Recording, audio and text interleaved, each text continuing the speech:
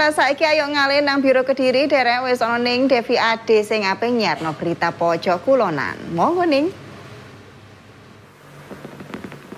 Matur nuwun nggih ning kalih rencang-rencang wonten CTV Surabaya.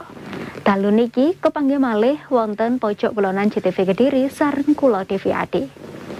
Warta ingkang sepindah nggih menika wonten level 3 PPKM Satgas Covid-19 Kuto Kediri sampun margi kebijakan pembelajaran tatap muka 50%. Nanging Dinas Pendidikan Kuto Kediri boten meksa datang kebijakan menika tergantung kesiapannya saben sekolah piyambak.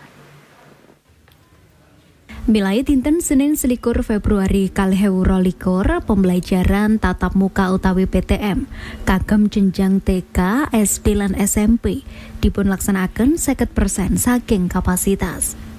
Nanging Dinas Pendidikan Kudo Kediri mboten beksa datang kebijakan meniko, amargi tergantung kesiapan saben sekolah piyambak.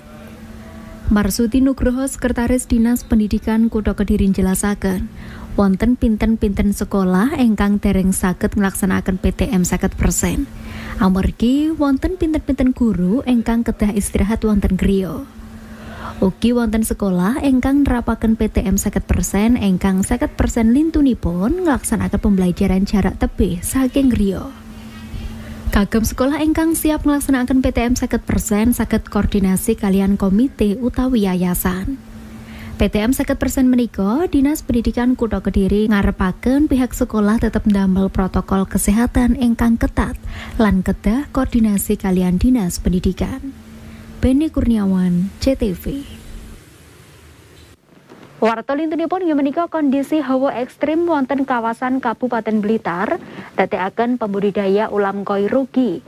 Salintunipun kata ulam engkang mati amergi penyakit jamur. Ugi biaya kagem perawatan ulam minggah amergi hawa ekstrim. Wilayah Kecamatan Nglego inggih menika salah setunggal kawasan engkang ngasilaken ulam koi paling ageng wonten Kabupaten Blitar. Wiwit wonten hawa ekstrim menika, penghasilan poro pembudidaya ulam koi langkung mandap lan rugi.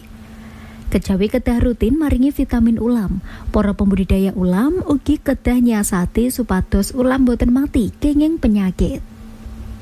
Hingga menika para pembudidaya ulam milih ngisi toyo kolam sepalih mawon kersane suhu wonten kolam tetap stabil. Tony Wijaya salah setunggal pembudidaya ulam koi sanjang.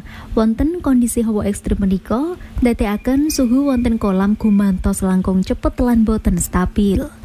Ditambah malih para pembudidaya ulam koi kedah ngendalaken biaya langkung kathah damel perawatan ulam.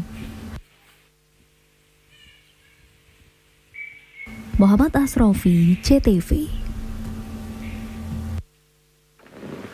Nggih ngoten niku unda kalih warta saking Kutha Kediri kalian Kabupaten Blitar. Saniki kula aturaken malih dugi rencang-rencang wonten CTV Surabaya. Monggo ning. Matur suwun nggih